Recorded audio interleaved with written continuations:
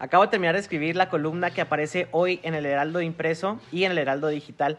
Eh, es muy importante que la lean. Hablo sobre eh, cómo este tema de la pandemia y el manejo que se te ha tenido que dar ante la restricción de movilidad para poder bajar los contagios y las ocupaciones hospitalarias también se utiliza como un esquema de golpeteo político cuando se debería de unir ahora sí que a todas las fuerzas políticas para poder este, solucionar un problema social tan importante y tan grave a la vez y además cómo también eh, en el manejo de los presupuestos y en el ejercicio del gasto realmente se ve quién es quién ante un problema o una situación de una emergencia como la que estamos viviendo.